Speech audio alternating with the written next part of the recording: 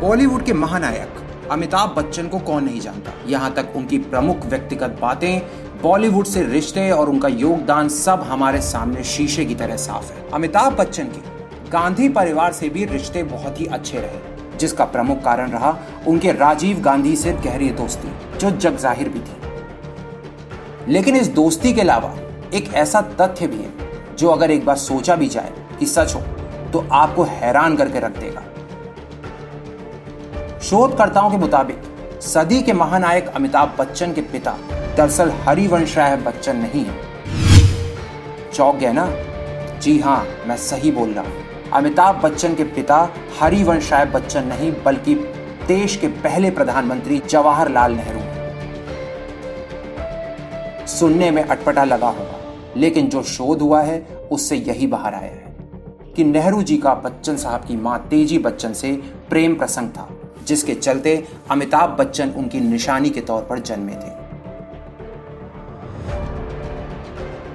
ऐसा माना जाता है कि तेज़ी बच्चन और इंदिरा गांधी बेहद गहरे दोस्त थे, जिसके चलते तेज़ी की जान पहचान नेहरू जी से भी हो गई, जिसके बाद वो दोनों एक दूसरे के करीब हो गए। जवाहरलाल नेहरू तेज़ी बच्चन की सुंदरता से इतने ज़्यादा आकर्षित हो गए कि उन दोनों में प्रेम प्रसंग शुरू हो गया था, जिसके चलते अमिताभ का जन्म हुआ। लेकिन जवाहरलाल नेहरू अपने राजनीतिक कारणों से इस रिश्ते को और बच्चे को स्वीकार नहीं कर सकते थे। इसलिए उन्होंने अपने शिष्य हरिवंश राय बच्चन से तेज़ी की शादी करवा दी।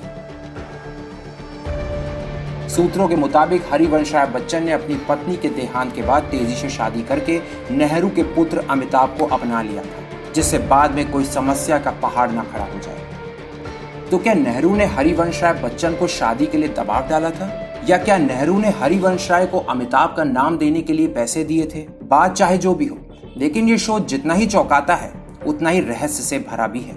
शादी के बाद नेहरू ने हरिवंश राय बच्चन को किसी शोध के सिलसिले में 10 साल के लिए विदेश भेज दिया था। इस दौरान तेज़ी बच्चन नेहरू के साथ प्रधानमंत्री आवास में ही रहा करती थी।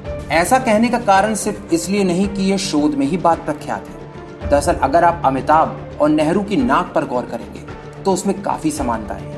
यही नहीं अमिताभ को अगर आप ध्यान से देखें तो उनके नैन और नक्श बिल्कुल हमारे चाचा नेहरू से ही मिलते हैं। इस शोध से एक चीज़ और साबित होती है कि नेहरू जी काफ़ी शौकीन मिजाज के थे, जिसके सबूत उनके एडविना माउंटबेटन के रिश्तों पर भी झलकते हैं। वो कहावत है ना, सौ मुँह सौ बातें। इसलिए हम इस लेख के ज़रिए किसी भी तरह की इसकी पुष्टि नहीं कर रहे हैं कि यह बात सच है। सिर्फ़ तथ्यों को आपके सामने पेश करने का हमारा एक मकसद था। अब ये आप खुद निर्णय लें कि ये हकीकत है या एक फसाना।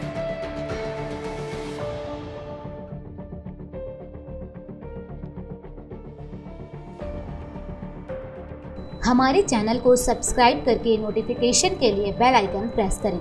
हमारी वीडियोस को लाइक और शेयर करें। साथ ही अपने सुझावों को हमें कमेंट के ज़रिए भेजें।